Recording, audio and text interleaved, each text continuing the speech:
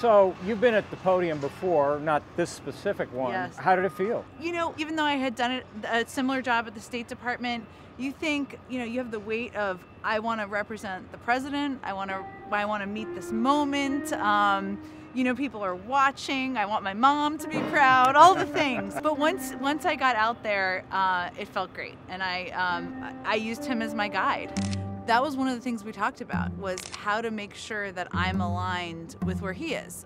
Uh, and you know, from having worked for a president before, it helps just to listen to them. I just remember hearing from my boss one morning after he'd read the newspaper. He said, "McKinnon, damn it, I can get people to say that about me for free." Yeah.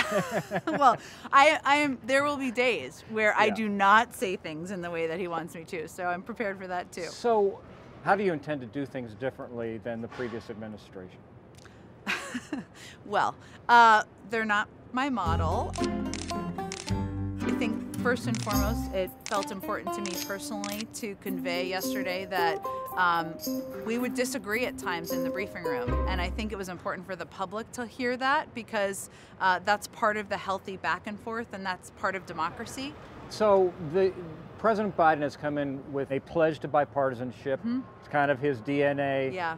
You face a ton of challenges. You got big stuff to do, but how are you going to square the things you need to do with the partisanship that's, uh, you know, most certainly going to come with an impeachment trial? Well, you know, first we have to somewhat we have to kind of keep our blinders on and focus on what we feel the American public elected him to do, which is to address COVID, address COVID, address COVID and get it under control. Is there a point where you have to put bipartisanship aside to get solutions passed? You just kind of have to say, we got to rip and go.